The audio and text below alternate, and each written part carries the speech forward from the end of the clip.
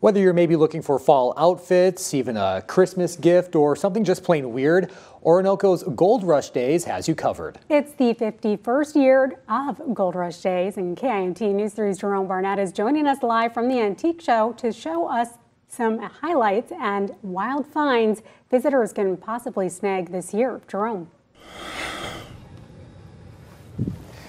Guys, over 200 dealers are a part of this year's Gold Rush Days.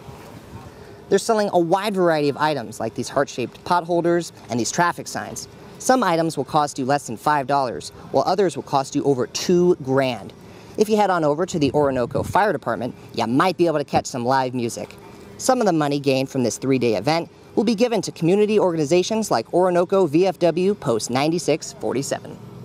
I love the feel of them, the look of them on a hardwood floor or on a tile floor. That contrast or juxtaposition from hard to soft. And it just looks amazing on it. That's what I like. There will be a parade tomorrow that will go from 2 to 5 p.m. It'll feature classic cars going down Main Street. Live in Oronoco, Jerome Barnett, KIMT News 3. All right, Jerome, thank you. And you'll be able to see the parade if you go to Minnesota Avenue North. What are the odds you think Jerome's going to come home with one of those hides? Yeah, it'll look nice on the newsroom floor here. I think so.